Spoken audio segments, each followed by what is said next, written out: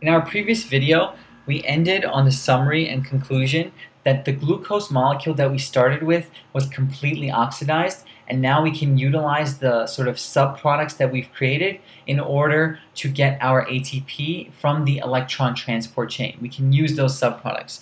And so just as a side note before we actually begin the flowchart, I just want to give us a scope of what we're talking about. Overall, so far, the key things that have happened are, of course, that glucose has been completely oxidized, but of course we have to uh, have the idea and understanding that so far we've made four ATP molecules as you go back through the videos and as you're taking notes, you can actually count all four ATP molecules that have been made um, up until this point. Um, in addition, uh, we've now, what we can say is that all of glucose's um, energy has actually uh, been stored, um, is now stored in the NADH and FADH2 molecules.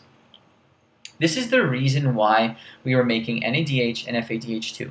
Glucose had high energy covalent bonds within it that we've converted into NADH and FADH2 molecules that can now be utilized within the electron transport chain. So we can say we use them in ETC, and that's exactly what we're about to do right now.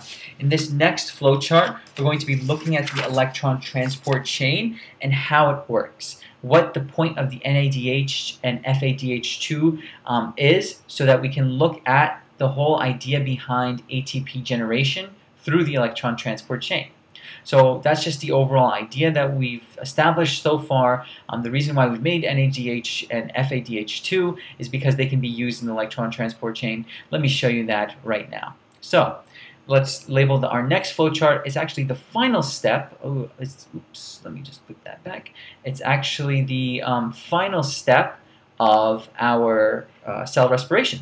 So step four would be the electron transport chain. Electron transport chain.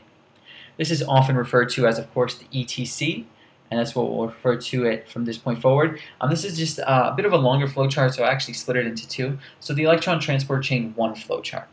Um, overall, the electron transport chain can be defined as a series of electron, of course, carriers embedded, and now this is where location is important. Again, we've talked about location many times before in the processes of cell respiration. Series of electron carriers that are embedded in inner mitomembrane, mitochondrial membrane. That's where they are located. And overall, this is uh, a very important function that you have to remember of the electron transport chain.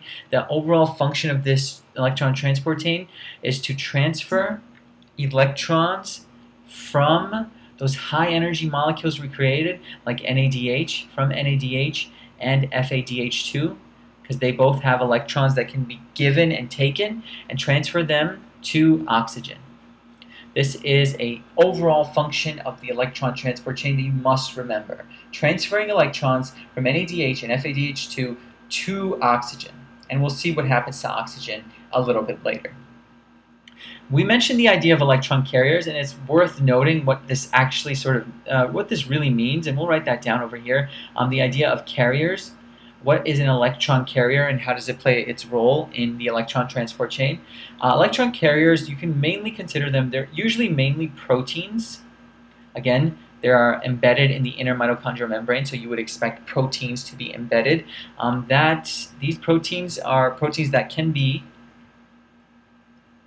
in both um, an oxidized form and also a reduced form. This will be very important.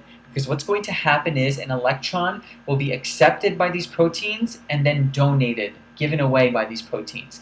That means if you accept an electron, you gain an electron, these protein would then, this protein would then be in the reduced form because reduction is gain of electrons. But if let's say that carrier gives off that electron to the next carrier, there are many carriers on this chain, that electron carrier would then be in the oxidized form because it gave up an electron, it lost an electron. It has this dual functionality that's very important to its overall function.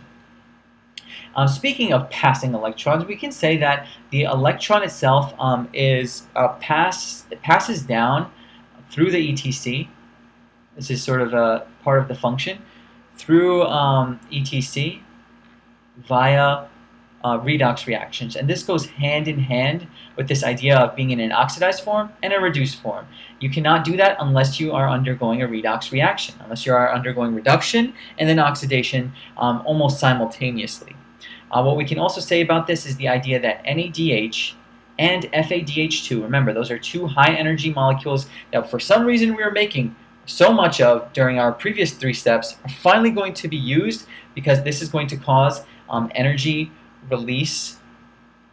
Um, uh, and most importantly, the reason why we have carriers, we have separate carriers to hold the energy of the NADH and FADH2 electrons is because the energy release can now become controlled. It actually becomes controlled. What I mean by this is simply that NADH and FADH2 have very high energy electrons. And remember, we cannot have an electron in a free state. That's part of the whole idea of redox, to have it either in a reduced or an, elect or an oxidative uh, form. So what we have to do is we have to make sure we control its sort of ability to move around this electron transport chain. How do we do that? Utilize redox reactions. That's how we control it. And then lastly, we'll finish up this flowchart by talking about the four carriers themselves. There are four carriers on the electron transport chain, four electron carriers, four major proteins that are embedded on the inner membrane, inner mitochondrial membrane, and let's go through them step by step. They are actually called complexes. The first complex is known as complex 1, and we actually use a Roman numeral to denote them. Complex 1 is going to be the first complex that actually accepts electrons from NADH. This is why we made NADH. We made NADH because it's going to donate an electron to complex 1 and complex 1 will accept it. Once complex 1 has accepted that electron, it has been in its reduced form. It is then going to go into its oxidized form. It will give and lose that electron by transferring it to ubiquinone. It transfers electron to ubiquinone. Very important molecule. I'm just going to abbreviate it from the letter Q now. So that's all that happens at complex 1. What we do is we have an electron, high energy electron, taken from NADH and transferred to ubiquinone. We'll see why this happens a little bit later. What's the purpose of this transfer? It actually yields energy in, let's say, a, a subconscious way that we haven't seen yet. So we accept and transfer. That's going to be a theme. Accept, transfer. So guess what complex 2 is going to do? Complex 2 and ubiquinone, all ubiquinone is is an electron carrier. I'll just write that down, electron carrier on the side. Once a ubiquinone has an electron from NADH, um, it actually has the ability to go to another complex, but it's actually not complex 2. Um, this is where it gets a little confusing. Complex 2 is actually interesting because it actually accepts electrons, um, not from NADH, uh, but it actually accepts electrons from FADH2. Accepts electrons from FADH2, and you can already guess, it's very easy to remember that because FADH2 complex 2. Not too hard to remember. Um, and then this is actually also transferred to ubiquinone. Uh, so we'll say it also has the ability and, and transfers to Q, ubiquinone. Then complex 3 gets involved. Complex 3, which is also on this mitochondrial membrane, this inner membrane, complex 3 is going to accept an electron from who? Who do you think? Who's been getting an electron so many times? Obviously, ubiquinone. So ubiquinone will donate this electron, give up its electron, and complex 3 accepts electron from Q. But once again, it's all about accepting and transferring. Accept and transfer. It's all about reduction, oxidation. This is going to give us energy in a way that we'll see in just a second. So once we've accepted an electron from ubiquinone, we actually have to transfer it, and it transfers specifically to what is known as cytochrome C.